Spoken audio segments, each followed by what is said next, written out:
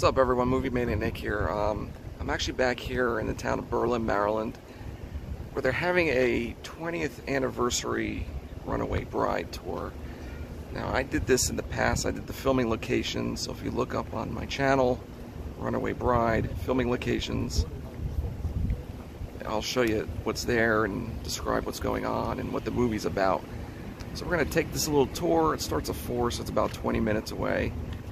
Um, take the tour, or I'll take the tour, and I guess we'll just go visit the filming locations like normal. So this is basically for the people that just subscribed to my channel. So let's do this.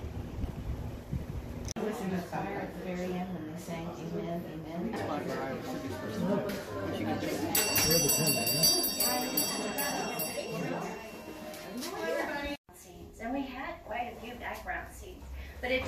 while to get the town of Berlin, oh, I'm sorry, I mean, ready for filming.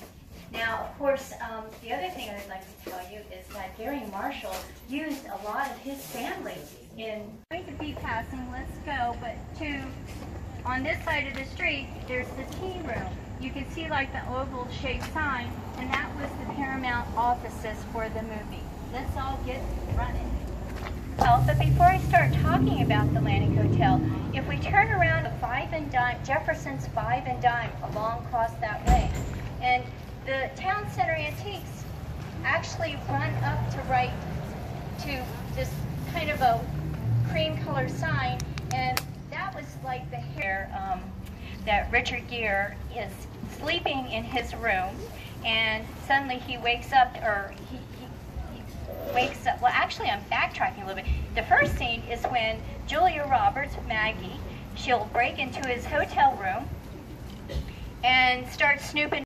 What happened here, though, is where that Garry Marshall had a town meeting for everybody to gather to talk about when filming. The other thing that he also did was he signed autographs.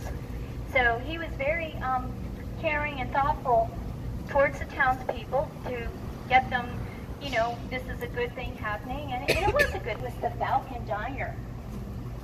Now, Rain at the Falcon Diner, this was the, it was kind of a cute, but kind of a crucial scene because this is where you can see where Maggie gets a little bit perturbed by Ike's comments. And uh, they, Ike and Bob, her fiance, plus Maggie, were all sitting at the counter, ready to order breakfast, while Mrs. Pressman their waitress was actually having a conversation with some. So apparently this is where Ike and Maggie meet for the first time. It was the salon.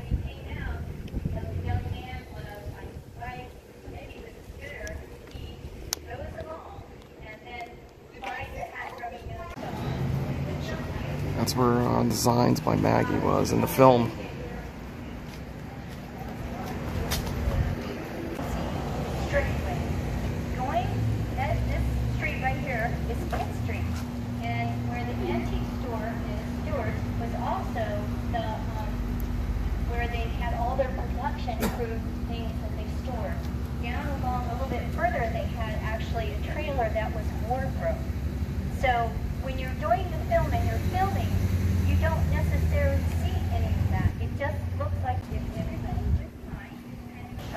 This is the bridal shop. Um, Maggie brought Ike to show her the Um, gorgeous wedding. And of course, Ike was like, okay, try not to make big Peggy and her and Mrs. Preston, Pressman, Honey, I told you this is the hardware store. Jokes. How did you do this? How, how long did it take you? Carpenter lived in, or Julia Roberts, as an actress, played her role here. That's the house I didn't get in my other location. The um, truck that was actually the, uh, it was painted up like red, white, and blue American truck, very patriotic. Here, the, one of the crucial scenes here is when uh, Maggie had written her letter, sent it off to the editor.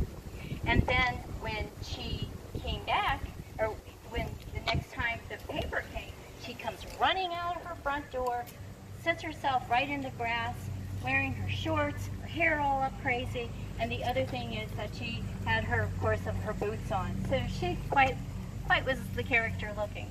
Now, just a little trivia about that scene. Garry Marshall said, if you're ever in doubt of something, make sure you, of a scene, you can either have a puppy dog or you can have Julia Roberts' legs. So we know which he hmm. chose for this scene. It was her legs. She comes running out of the house, gets her paper, opens it up, flops open the paper, trying to find the right page, and she finds out that Eric Graham, aka Richard Gere, was canned.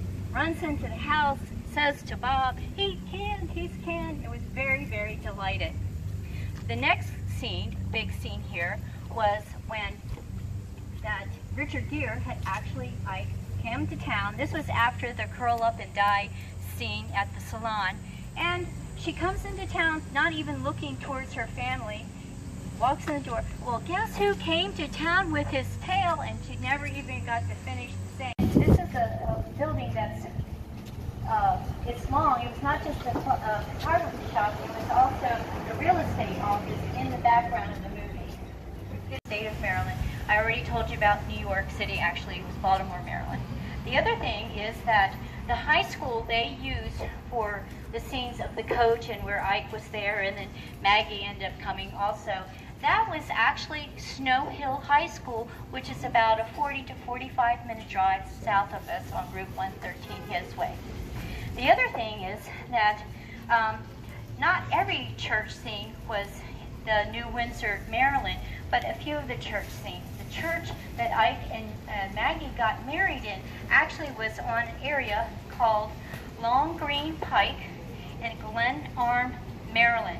And the church name was WAUGH, W-A-U-G-H, United Methodist Church. And in fact, one of the gals that, before I started the tour, said that when Paramount um, Pictures called the church, to let them to ask if they could use it, they literally hung up on them. They thought it was a joke, but it wasn't a joke.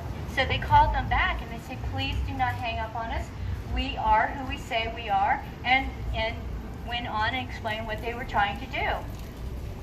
So that was a good thing. Another gal told me also that the choir that you saw in the church also singing was an extra.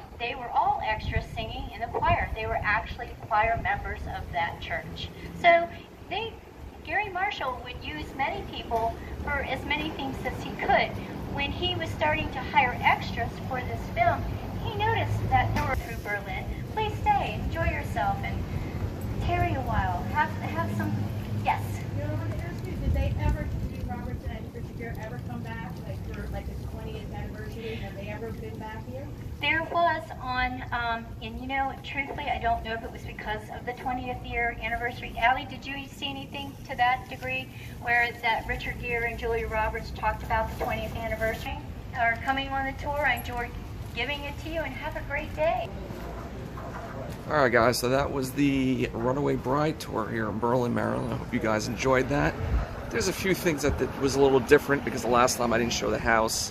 This time I actually saw it where Julia Roberts' character Maggie stayed.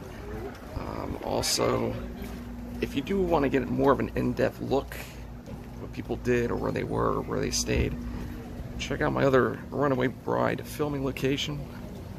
Um, and you'll see more stuff. So this is just a quick tour, um, but as always, thank you for watching.